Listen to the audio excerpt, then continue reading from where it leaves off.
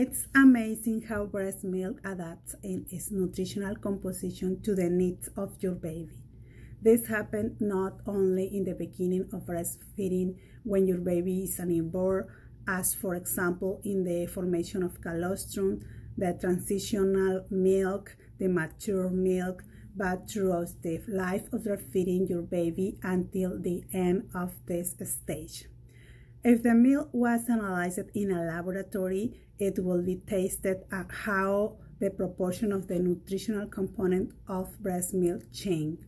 And this happens according to the needs of your baby's development. It is wonderful how the body adapts to everything. That is happen with the formula? Of course not.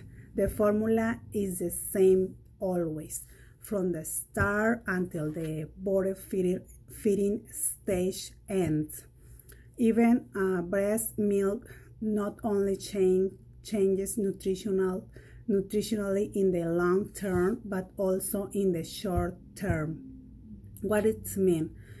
It does at the same time when the body the baby is at the breast until it finish breastfeeding even if he lasts 15 minutes or an hour at the breast, in that period of time, the composition of milk changes.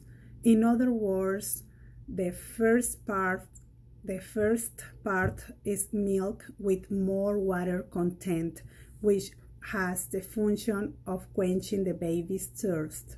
Remember that uh, the baby under six months should not drink any water only breast milk.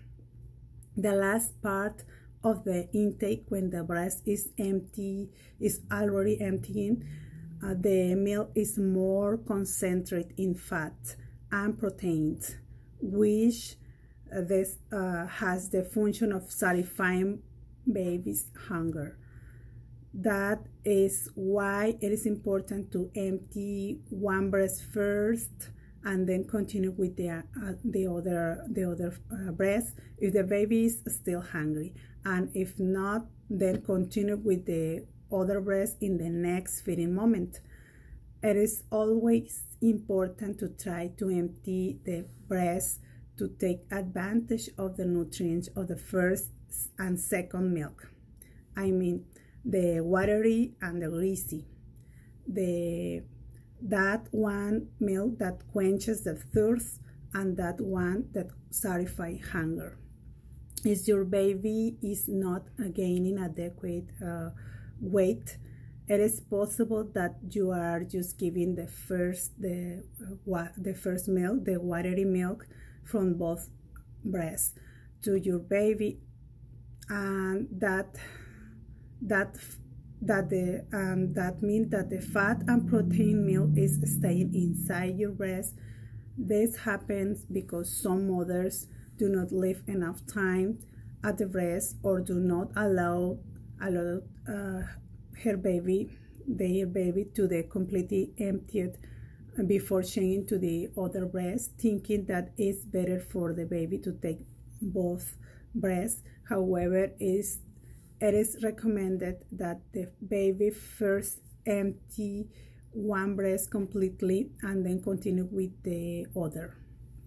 Do not worry, just pay attention to your baby's signals. Your baby will indicate when the breast is empty because uh, he moves away from your breast or he will stop uh, sucking since uh, that happened with the when the milk the milk flow has uh, decreased decreased uh, when less milk comes out or it does not come out as it was at the beginning. Uh, it is time to change to the other breast and also you will feel that the breast softer compared with the other.